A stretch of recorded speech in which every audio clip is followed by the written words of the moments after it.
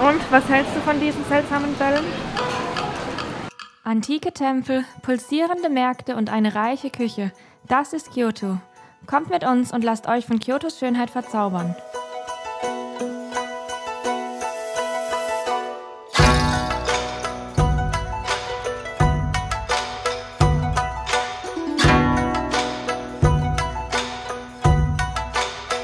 Guten Morgen aus Kyoto. Es ist jetzt erst kurz vor sechs am Morgen. Wir sind noch sehr müde, aber wir sind so früh unterwegs, weil wir ein bisschen den Touristenmassen entfliehen wollen. Wir haben zwar erst Mitte Ende Februar, aber trotzdem ist hier schon einiges los und an den Touristenorten tummelt sich's. Und deshalb haben wir gedacht, fahren wir heute mal ganz früh schon los, gehen jetzt hier im Mini-Stop noch was einkaufen, unser Frühstück. Und ja, schauen wir und hoffen wir, dass wir vielleicht die ersten Massen übergehen können. Überall in Japan gibt es Minimärkte von verschiedenen Ketten, in welchen man günstig Snacks, Getränke oder was man sonst noch so braucht oder auch nicht braucht, bekommt. Unser Frühstück ist sehr interessant ausgefallen. Wir haben hier zwei warme Kaffees, die werden hier irgendwie beheizt. Und dann gibt es Sushi. Warum nicht?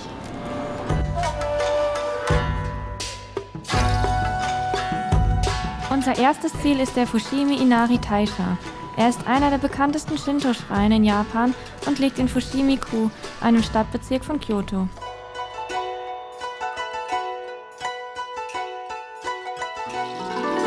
Wir sind jetzt am Fushimi Inari Schrein und ja, der ist der Grund, warum wir heute so früh aufgestanden sind. Wir haben gehofft, ihn ein bisschen menschenleerer zu bekommen und ja, es ist zwar schon einiges los, mehr als wir erwartet hätten, aber wie ihr seht, Gerade ist niemand hinter uns. Wir haben gerade die Sicht ganz für uns und das ist schon sehr schön so.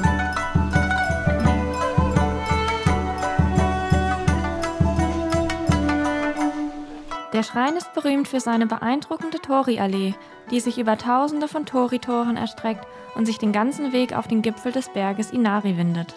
Auch wir entscheiden uns, den ganzen Weg durch die Allee hinaufzugehen, die sich über einen schönen Wald erstreckt und zu verschiedenen Schreinen und Aussichtspunkten führt. Der Weg kann je nach Geschwindigkeit und Interesse mehrere Stunden in Anspruch nehmen, aber die atemberaubende Aussicht und die spirituelle Atmosphäre machen den Aufstieg absolut lohnenswert.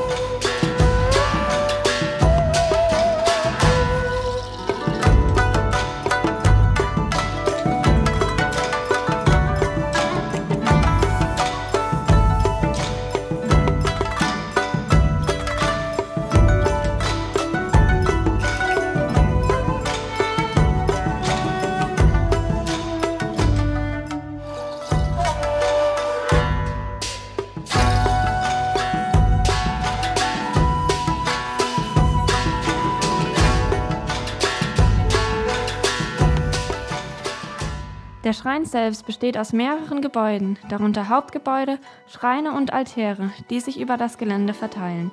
Die vielen Statuen von Füchsen, die als Boten des Gottes Inari gelten, sind ein markantes Merkmal des Schreins. Der Schrein ist dem Shinto-Gott Inari gewidmet, der als Schutzpatron der Landwirtschaft, des Reichtums und des Handels verehrt wird. Aufgrund seiner Verbindung zur Ernte und zum Handel wird der Fushimi Inari Taisha von vielen Geschäftsleuten und Handwerkern besucht die um Segen und Erfolg bitten.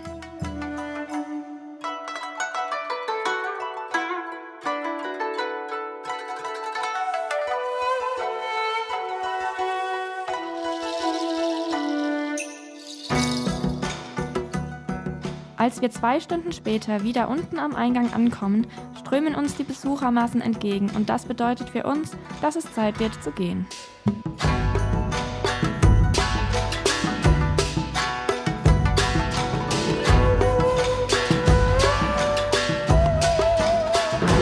Sonnenaufgangsmission heute Morgen haben wir uns nochmal für ein paar Stunden hingelegt und Nickerchen gehalten. Jetzt geht's nochmal los. Wir laufen hier durch Downtown und möchten jetzt auf den Market im Lokal und uns durch die Spezialitäten probieren.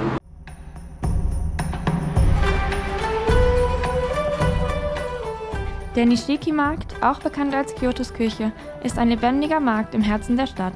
Er erstreckt sich über mehrere Straßen.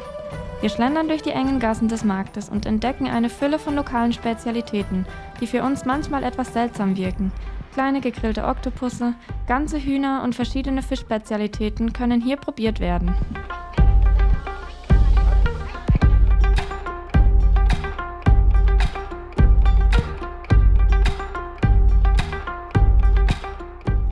Die lebendige Atmosphäre des Nishiki-Marktes zieht uns in seinen Bann und gibt uns die Gelegenheit, das geschäftige Treiben und die pulsierende Energie von Kyoto zu erleben.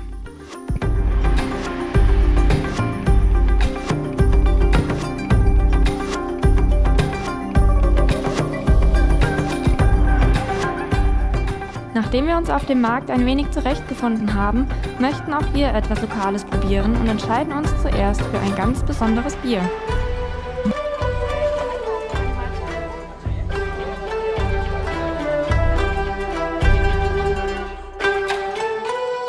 Japan gibt es natürlich alles mit Matcha und deshalb müssen wir jetzt auch ein Matcha-Bier probieren.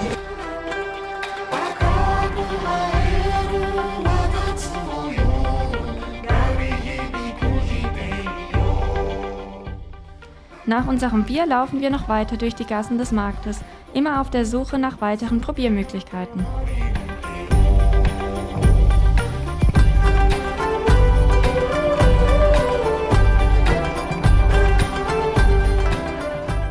Wir probieren Matcha-Eis, Tee aus Sojabohnen und dann Bällchen, die besonders beliebt zu sein scheinen. Also müssen sie ja gut sein, oder? Da ist Ingwer drin. Und was hältst du von diesen seltsamen Bällen? Es schmeckt süß, salzig, deftig, fischig, nach Ingwer. Okay. Schwabbelig? Schwabbelig. Ich glaube, ich würde es mir nicht mehr kaufen.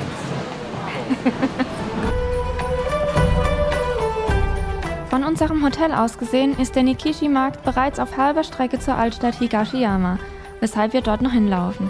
Ein Spaziergang durch die historischen Viertel von Kyoto bei Nacht ist wie eine Reise in die Vergangenheit.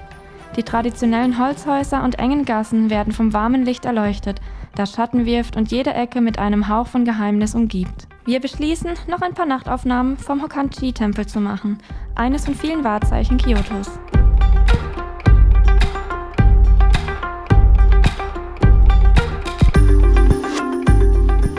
Der Weg zu Fuß zurück zum Hotel dauert etwa eine halbe Stunde.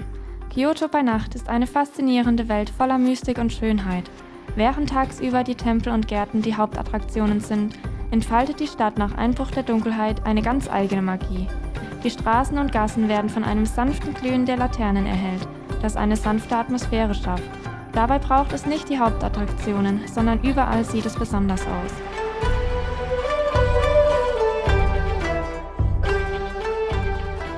Sogar einem Straßenmusiker begegnen wir, der weiteren Glanz in die Stimmung bringt. Ihm zuzuhören ist der perfekte Abschluss eines wunderschönen Tages in Kyoto.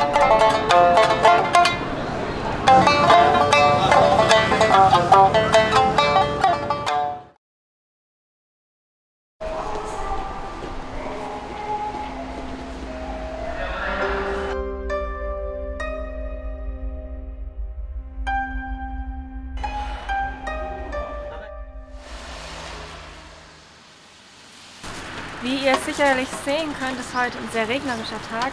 Deshalb haben wir uns für heute nochmal einen Tempel ausgesucht, der auch bei Regen echt schön wirkt. Und ja, dafür mussten wir jetzt eine Weile mit dem Zug fahren und warten hier jetzt auf den Bus. Der soll so in 10 Minuten kommen. Und fahren dann nochmal ein paar Minuten. Ja, eine Anreise von über anderthalb Stunden von unserem Hotel, aber ich bin mir sicher, es wird sich gelohnt haben.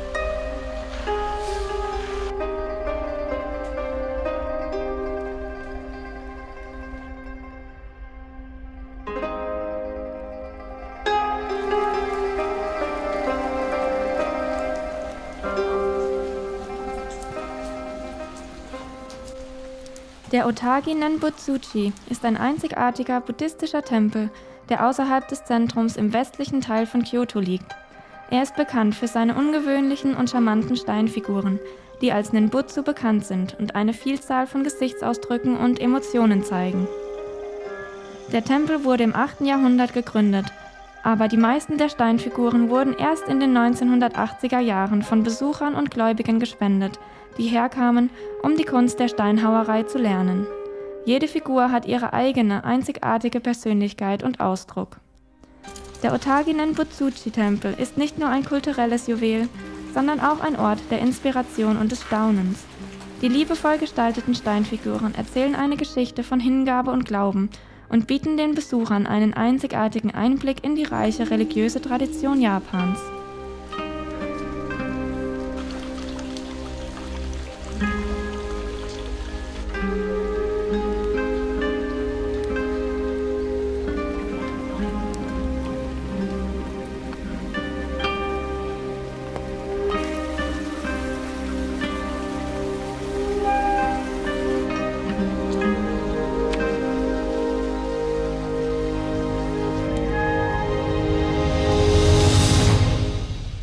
Wir sind überrascht, dass kaum ein anderer Besucher hier ist, denn wir finden den Tempel sehr beeindruckend und besonders.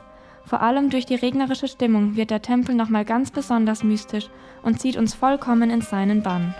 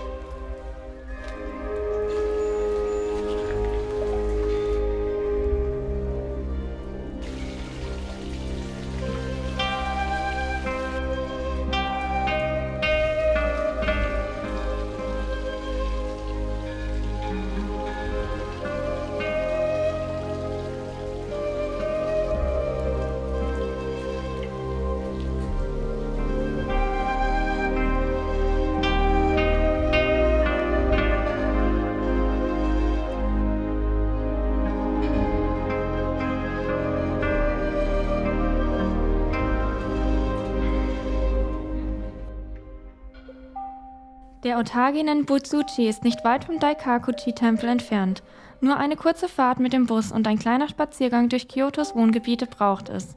Da wir durch die Netze recht durchgefroren sind, kommt uns der Getränkeautomat gerade gut gelegen, denn der bietet auch Heißgetränke. Was willst du überhaupt? Ah, Kaffee. Schwarz oder Olle? Oder das da?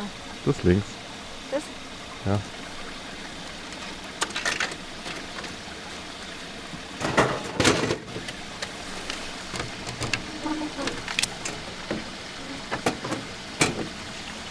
Oh, ist das heiß. Mega.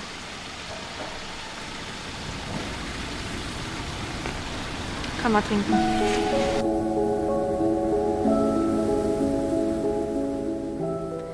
Der Daikoku-ji wurde ursprünglich im 9. Jahrhundert als Palast erbaut und später in einen buddhistischen Tempel umgewandelt. Seine Lage am Ufer des Osawa-Teiches verleiht ihm eine ruhige Atmosphäre. Einer der faszinierendsten Aspekte des Daikoku-ji ist sein Bezug zur japanischen Kaiserfamilie.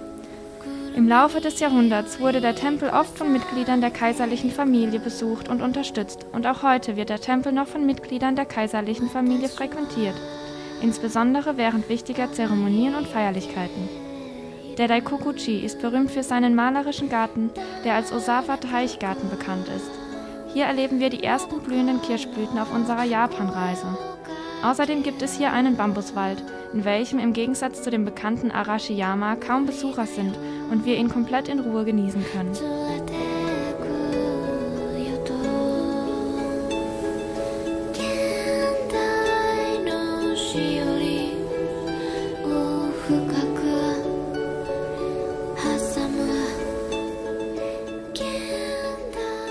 Abschluss des Tages fahren wir nochmal in Kyotos Altstadt und wärmen uns mit einer leckeren Portion Ramen auf. Danach schlendern wir noch ein wenig durch die Gassen und nehmen zufrieden Abschied von Kyoto.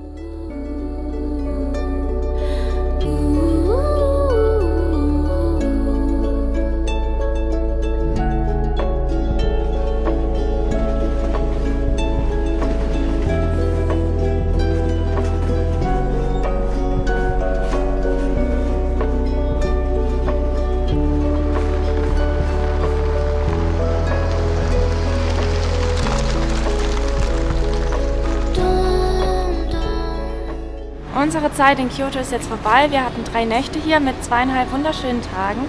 Jetzt geht's weiter. Wir haben circa fünf Stunden Zugfahrt vor uns. Es geht in eine etwas abgelegenere Region zu einem wunderschönen roten Tempel mit Wasserfall, den Nachi-Wasserfällen. Und wir freuen uns, wenn ihr beim nächsten Video wieder dabei seid.